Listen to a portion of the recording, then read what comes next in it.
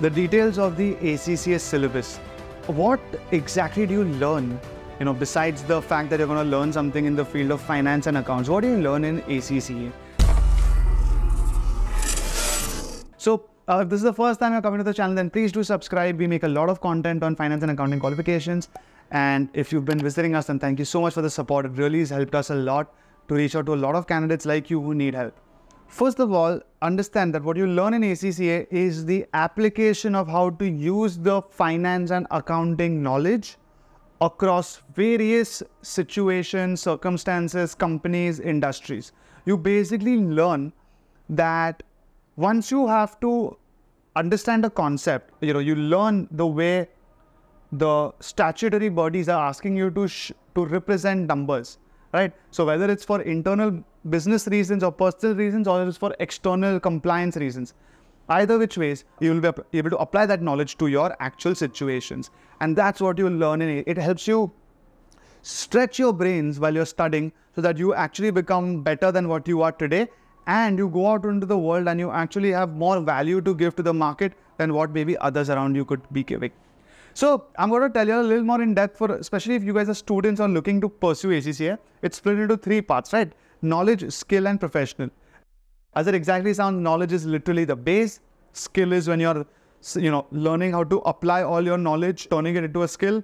And professional is the highest level. What will be actually expected in the real world, what the kind of case studies and the situations they give you in your exams, they, they're as real as they can get. You know, they're not theoretical. It's not too much of rote learning. It's a lot of application based.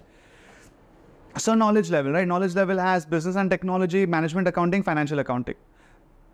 Literally, most of you would have, you know, touched upon all these aspects in college. But if you haven't, quickly, business and technology, it just gives you a perspective into the real world, right? How does the world need finance and accounts? That's what this, this first subject teaches. It's quite a simple subject, quite a basic, interesting subject.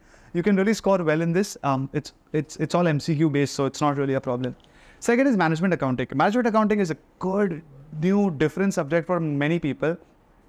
But it's all about how do I collect understanding of information within the organization, collate the right kind of information, and then I present it to somebody to make better decisions. Third is financial accounting. Financial accounting for most of you who've given 12th accounts, you know, your balance sheet, your profit and loss account, your cash flow statement, the journal entries, the ledgers, all of that is what financial account is. Although in ACCA, we learn something called IFRS, International Financial Reporting Standards, which are the standards internationally on how to draw your balance sheet, PNL, and cash flow statement. In India, Earlier, we would follow what is called Indian Accounting Standards, and now it's IndAS, IND AS, IND-AS. And IND AS is essentially 95% IFRS. So if you learn ACCA, you're already learning the Indian Accounting Standards. All right. Next is the skill level. Skill, the first subject is law, business and corporate law. This is international variant we suggest most of our students to do. Really nice, again, full MCQs, nice little subject to get the perspective of how the field of law works. And it's a good insight for a lot of you who want to get into the field of finance and accounts. It's not always about numbers. You've got to also understand other statutory compliance. Subject number five is performance management. Performance management is the higher version of management accounting. Performance management is like the CA. In CA, we do costing. That's what we do in PM in ACCA. And it's again what it sounds like. You know, it has its costing subjects, your activity-based costing and, and, and marginal costing and absorption costing and things like that. But it also has variances. It also gives you a perspective of how to actually analyze and drive performance in an organization. Subject number six is tax. Simple, not much explain. Subject number seven is financial reporting. This is the higher level of financial accounting. Financial reporting is a more in-depth understanding into IFRS. You study many, many standards and learn how to solve them. This is a common favorite subject for a lot of candidates. They actually, I personally wanted to get into financial reporting when I was studying it because I really like that subject so much. Subject number uh, eight is audit and assurance. Once again, if you don't know what audit is, it's basically making sure that the financial statements shown by a company are true and fair. And I'm not going to get into the depth. I've, again, we made, made videos in which we explain audit in depth, but auditing is quite a common term used in the field of commerce. Only thing you have to remember here is this is international standards on auditing, which by the way are very similar to the Indian standards on auditing. Next is financial management, FM. FM is a very, again, very fun subject. It talks about subtopics like time value of money, cost of capital, working capital, investment appraisal, a lot of calculation, but a lot of logical calculation. So if you guys are number fans, but logical people, it's going to be one of the top subjects. Again, FM is a subject I personally still use knowledge on a daily basis at, at a personal or at a business level. So again, something for you all to know. This takes care of your skill level. Finally comes the professional level. Now, the professional level, the first two subjects are mandatory. One is called SBR, Strategic Business Reporting, the highest level of financial reporting. So you have FA, Financial Accounting, Financial Reporting, Strategic Business Reporting. Covers everything in IFRS, the real kind of case studies that you will face if you go out into the world and actually become a IFRS expert or a financial reporting expert.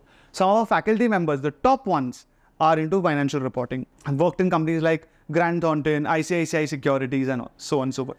One of our other faculty is the CFO of a group company called Avans. He also is specializing in IFRS reporting. So it's pretty, it has a stellar career you can make over there. And then is SBL, Strategic Business Leader.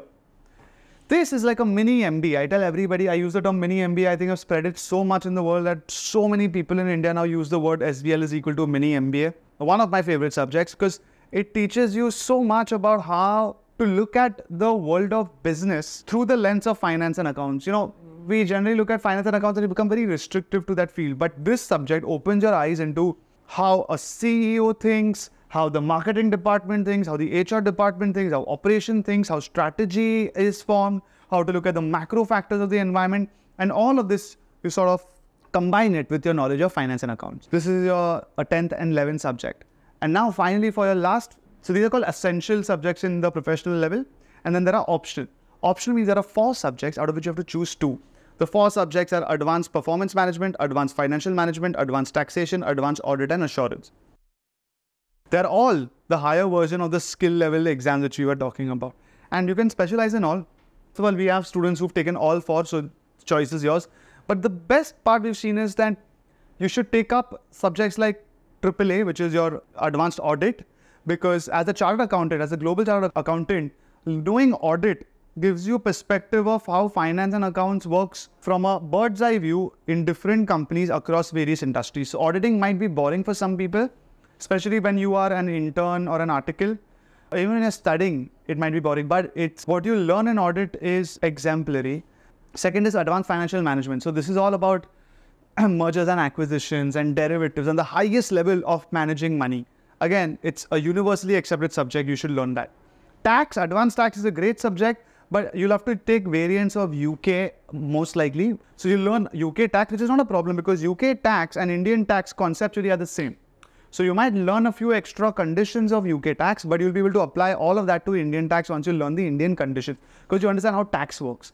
And tax is a good subject, it's a scoring subject because you know, even though it's complicated, tax is eventually limited, right? So it has a lot of stuff to study, but once you study it, there's not much more than that. So it's an interesting subject. And last is advanced performance management. Now, this is an amazing subject, but you've got to be really self driven to make use of this because it, it really stretches your brain on how to run an organization. You know, it, it's a combination of your SBL paper with your PM paper in many ways, and, and, and that really gives you a good insight into how, how you can drive performance at the highest level. If you're a student right now, don't worry about the optional papers. When you reach at the final level, you will be able to make a decision and we any which counsel all of you guys at all at all stages if you all want to decide. So let us know.